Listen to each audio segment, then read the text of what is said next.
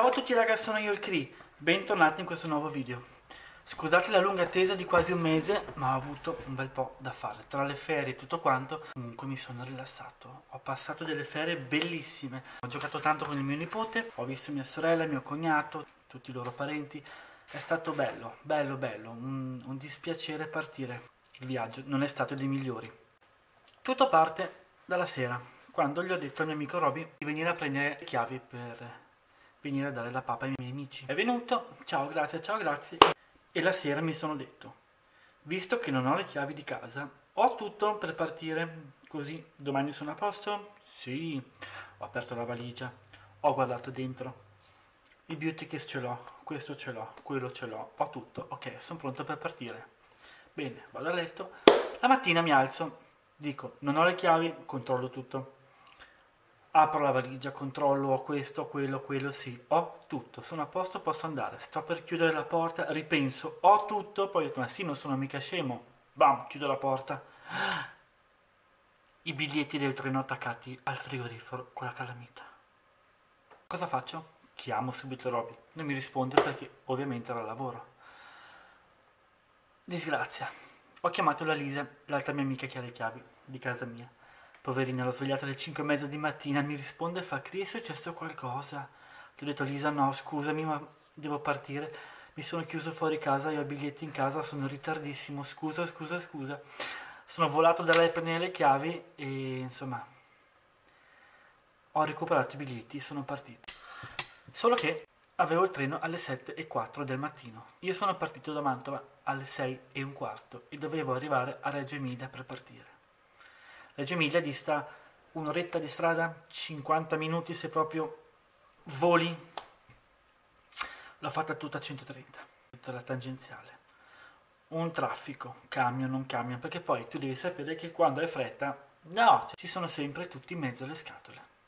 Camion, gente tarda per strada, gente che non sa guidare. Ho detto no, sono arrivato alle 7 e 8 per 4 minuti. 4 minuti ho perso la freccia. Non vi dico nervoso. Non vi dico nervoso. Poi biglietti con l'offerta non risarcibile, quindi ho rifatto i biglietti nuovi per l'ora dopo, ripaga il biglietto intero. La partenza è stata un po' angosciante. Poi adesso è andato tutto bene però. Ora vi faccio vedere un paio di immagini del posto splendido in cui ero in ferie. Tanto così per farvi un po' di invidia.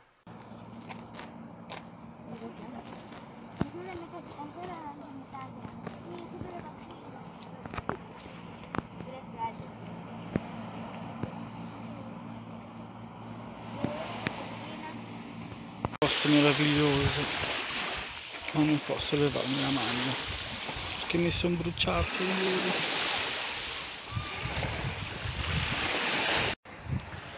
Guardate che spettacolo da qui su. Sono arroccata su una roccia in cima al mare.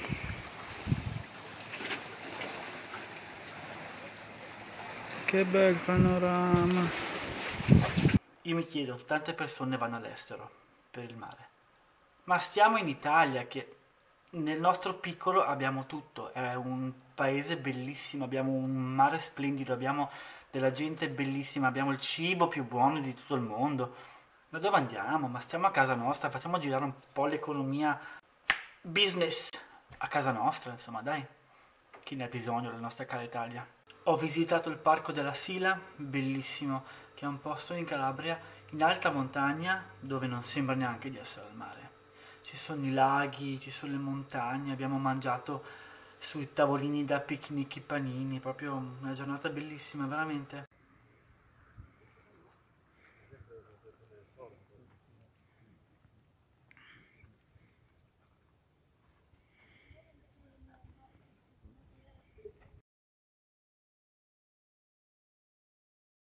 E poi lì sopra ho fatto anche per la prima volta in vita mia il bob su rotaie. Cioè pensate che su Amerano dove sono nato io ce n'è uno bellissimo e non ci sono mai stato. Su Amerano 2000. Sono andato a farlo in Calabria. Cioè, ma che ragno c'è su quel muro?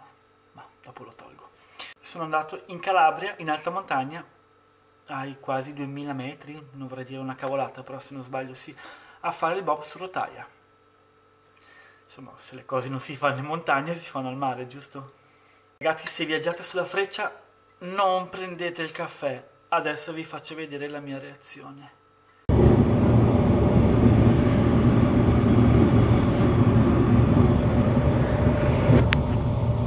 euro questo caffè sembra acqua sporca fischia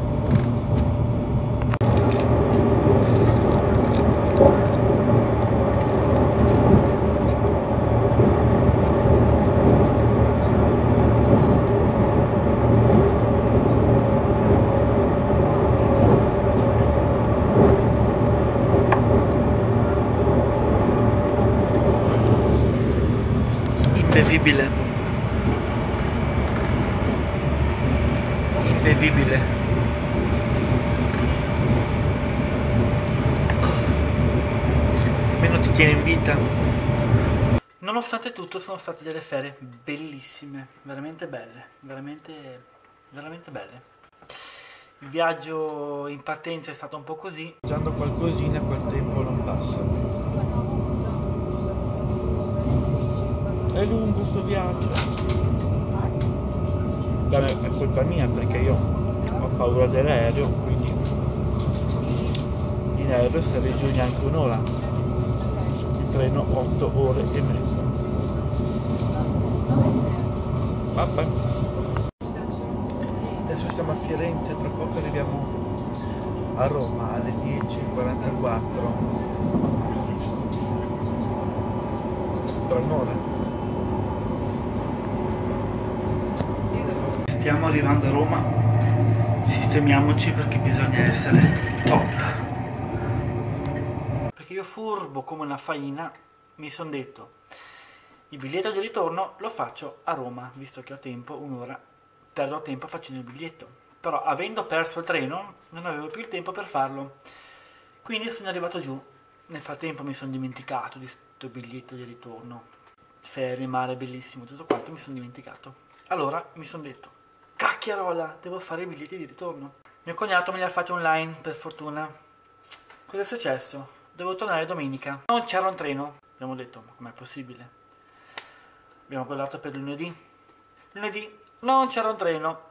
Abbiamo detto, non è possibile, ci sarà il sito, che è un po' in tilt forse. Abbiamo chiamato il call center. Non c'è un posto. Sono dovuto tornare martedì.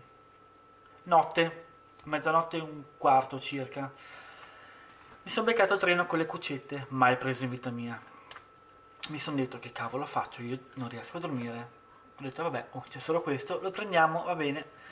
Mi hanno accompagnato in stazione a mezzanotte e un quarto. Prendo sto treno, salgo su, cerco la cucetta, entro dentro, un inferno.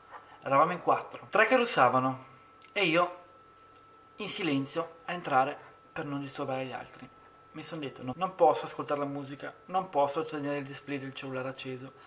Ho abbassato la luminosità del display, mi sono messo un po' lì, poi ho detto no, impazzisco. Quindi cosa ho fatto? Sono uscito, mi sono mangiato due panini con la sorpresa calabrese alle due e mezza di mattina e tanto per stare un po' leggeri, no?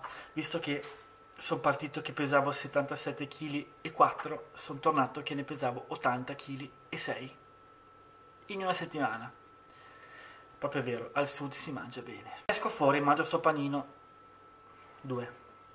E non riesco a aprire la porta, mi hanno chiuso fuori. Busso e non mi rispondono. Mm, ho detto vabbè, aspetto qui davanti. Ho aspettato davanti e finalmente dopo 20 minuti circa è uscito uno, mi sono intrufolato dentro. Ho detto boh dai, cerco un po' di dormire. Mi sdraio, mi hanno rubato il cuscino. Ho detto ma guarda questi maledetti. Niente, mi sono sdraiato, ho preso il mio zaino, l'ho usato come cuscino, mi sono addormentato per un'oretta circa, dopo mi sono svegliato, mi giro, mi giro, mi giro, un inferno. Finalmente sono arrivato a Roma, ho preso la freccia, sono arrivato a Reggio Emilia. Il tempo di scendere dal treno, un mio amico mi chiama e mi fa ma ciao ma sei tornato dalle ferie? Gli ho detto guarda sono appena sceso in questo momento dal treno. Fermati a fare colazione a Suzzara, che è un paesino a una quindicina di chilometri davanti. Ma ho detto vabbè sono di passaggio, ok perché no. Dopo una notte d'inferno. Ho dormito un'ora, stanco morto, mi fermo a questo bar, finalmente mangiamo qualcosa, mi sono fatto un cappuccino, due brioche, dopo parla con questo amico, racconta questo e quest'altro, si sono fatte le 10 di mattina, il mio amico fa, ascolta, adesso ci facciamo l'aperitivo, io voglio andare a letto, invece no, ho dovuto farmi l'aperitivo, ben, due spritz, neanche uno, due spritz, sono rimasto lì fino alle 11 qualcosa, dopo sono andato a casa e ho dormito tutto il giorno, non ne potevo veramente più. Comunque raga, questo è il riassunto delle mie ferie, da rifare però. In famiglia si sta proprio bene, soprattutto quando hai un nipote soltanto e lo vedi veramente poco. Sono stato veramente felice. Questo video è terminato, se vi è piaciuto lasciate un like, se non l'avete fatto iscrivetevi al canale. Questo è tutto, vi mando un bacione, alla prossima. Ciao!